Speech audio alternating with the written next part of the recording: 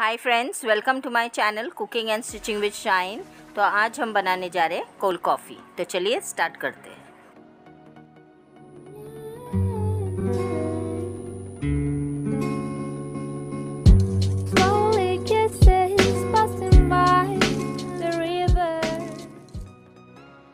सब में पहले बोल में डालेंगे two tablespoon condense milk two teaspoon coffee powder half cup boiled water इसे हम अच्छे से मिक्स करेंगे।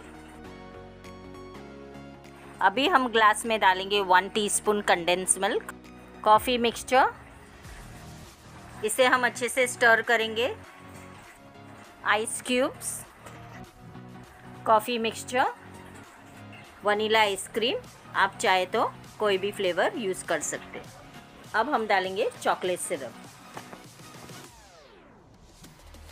देखिए, हमारे कोल्ड कॉफ़ी तैयार हो गए हैं। अगर आपको हमारी ये रेसिपी पसंद आई तो प्लीज़ हमें लाइक शेयर और सब्सक्राइब ज़रूर कीजिए।